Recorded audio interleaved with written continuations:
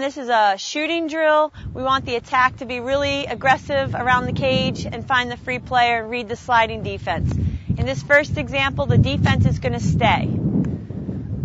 Okay, here we go. Starts with a pass, pass back.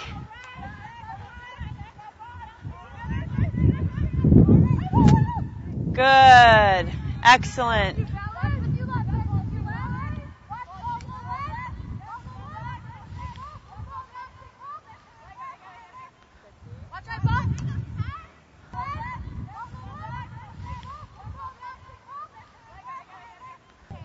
Keep your elbows, guys.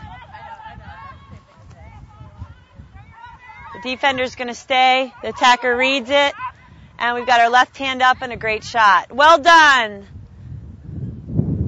Continuing on the 3v2 dom drill. In this situation, the defense has been instructed to switch. So there's not one player who's going to mark the ball behind. They can switch depending on what angle or what position the attack behind the cage uh, takes. Again, we want one pass and an aggressive shot to cage.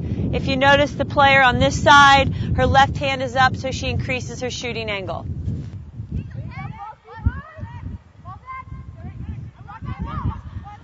Shot. Good. Good.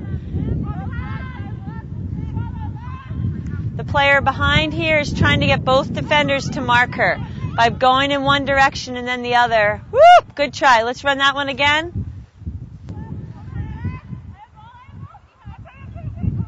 Ah, good stick, Mare. Play it. Good curl cut.